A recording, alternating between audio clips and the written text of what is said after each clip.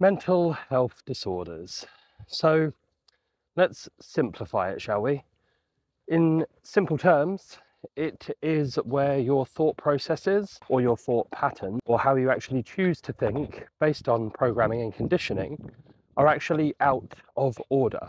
I don't mean out of order as in not working, I mean out of order in terms of dysfunction. So when we construct thought patterns, and we actually think about things, we're never actually told how we construct these in the first place.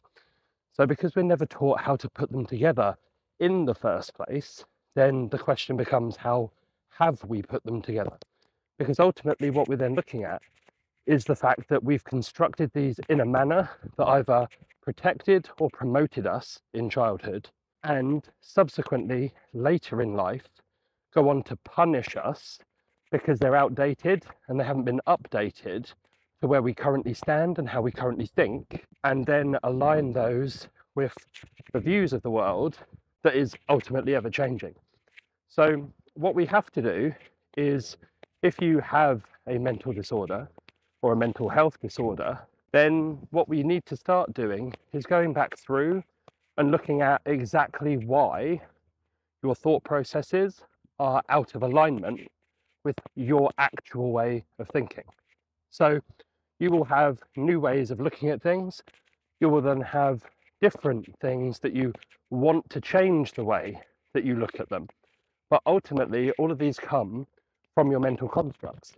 So we have to then get to the point whereby we're sifting through these mental constructs and then aligning them with what the outcome is that we wish to achieve.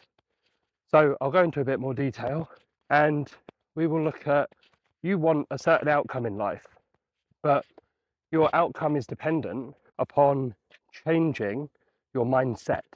But your mind was set because at some point in time, you were either taught victim mentality or you were taught survival and coping mechanisms. We weren't ever taught how we actually thrive and how we actually grow and develop.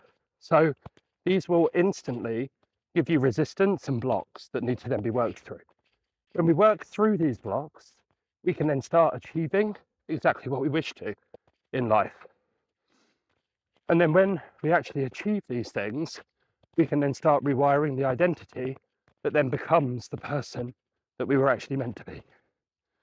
So there's something to think about, but this hill is quite an incline, as you can probably tell. So I'll leave it there for now. But as always, until next time, trust the process and it's bye for now.